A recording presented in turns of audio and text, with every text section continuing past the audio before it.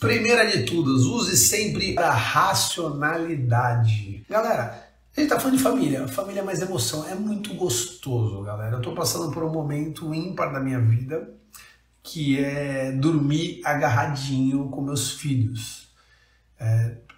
Cara, eu e minha esposa a gente não dorme agarrado, aqui em Santos é um calor tremendo, então a gente dá, né, a nossa namorada, e depois cada um vai pro seu lado, a gente não toca nem dedinho com dedinho.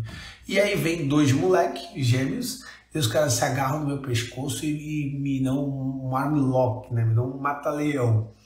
Tá maravilhoso. Eu me emociono muito quase toda noite, graças a meu bom Deus.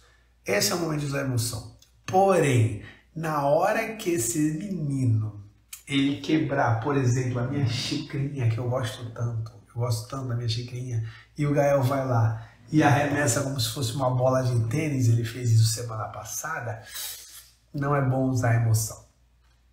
É o momento de você ter racionalidade e bom senso. Então você precisa saber separar isso. Eu estou contando só uma, tá? Segundo que, ela, que o Diego tá aí, né? Quebrou minha balança também. Tinha uma balança digital, ligada no aplicativo e tudo, e eu vi que ele adorava subir, adorava subir. Então o dia que eu ouvi um pá, e aí a balança não funcionou mais. Não é bom você usar da emoção nesse momento. Use da emoção nos bons momentos e não nos maus momentos. Então a primeira parte é use a racionalidade. Eu sei que é embaçado. Eu sei que é difícil. Eu sei que às vezes, né, um amigo meu, Marcelo Medina, ele tem uma frase que eu acho que eu campeei. Ele fala assim: se você nunca deu vontade de dar uma voadora nas costas da sua esposa, você não sabe o que é amar.